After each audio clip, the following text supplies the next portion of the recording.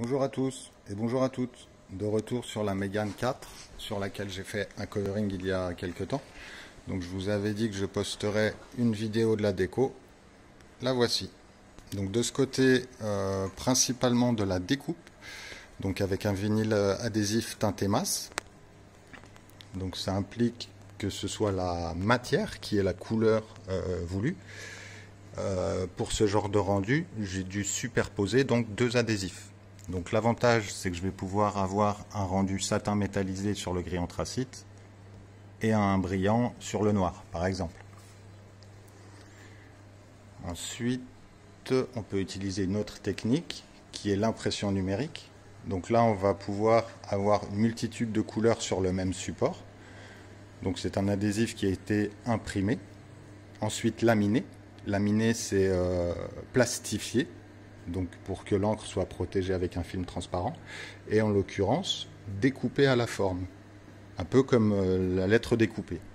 Pour vous expliquer simplement, je vais euh, faire imprimer un rouleau comme celui-ci, avec des repères. Ma machine va, va capter ces repères, et à l'intérieur de ces repères va découper les formes que je lui ai demandé de découper. Donc voilà pour la petite explication des différentes techniques utilisées. Ensuite, euh, le logo euh, JG International en lettres découpées, ce qui veut dire que le fond c'est la couleur carrosserie, filet noir, superposition avec le jaune.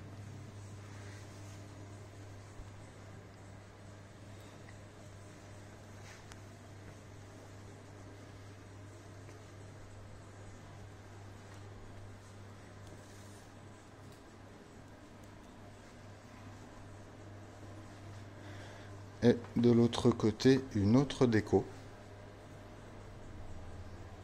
Donc le logo à identique, donc ça c'est une typo que j'ai conçue pour, le, pour ce projet, et une impression numérique qui court sur tout le long de la voiture avec euh, quelques-uns des modèles que, que réalise JG International.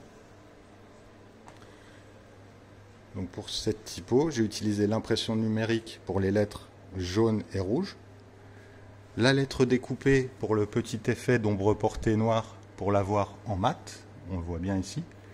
Et je suis allé même plus loin, j'ai découpé chaque petit écrou dans de l'alu brossé, manière vraiment à, avoir cette petite épaisseur et, ce petit effet métallisé. Oui, je suis allé un peu loin. Sinon, en qualité d'impression, si les fichiers d'origine sont euh, bah, de qualité justement, on peut s'apercevoir que les, les rendus sont vraiment très nets.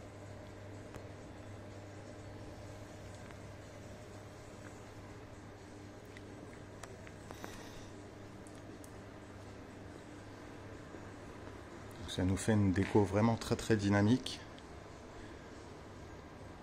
Et je suis super content du résultat parce qu'il y a vraiment une multitude de techniques utilisées et ça j'adore